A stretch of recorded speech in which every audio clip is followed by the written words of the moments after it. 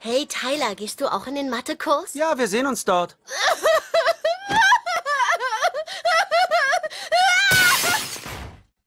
du bist voll.